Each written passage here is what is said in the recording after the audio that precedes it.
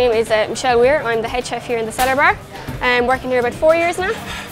On an average day, we might do 500. Really? Yeah, well, a normal quiet day. If you're looking at a Saturday or a Sunday, busy Saturday, Sunday, you might go up to like maybe seven or 800. Really? Yeah. It's great. Great place to work.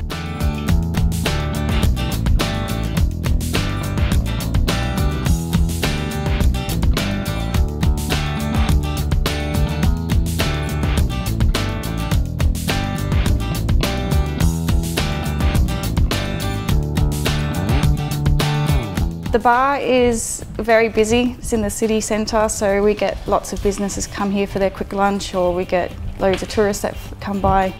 Um, it's lively, and we get loads of students, so there's a little bit of everybody here. Never stops. It's always busy. Always a good atmosphere.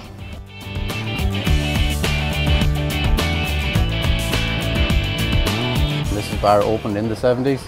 So since then, the Cellar Bar was known as a live music venue and it's continued through that, even through the recession, through all the other times. We always had a live band, especially at the weekends.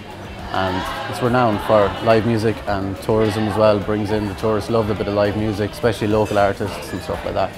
Pretty good, nice, decent bar around, you know, to work in and friendly staff, friendly everything. So.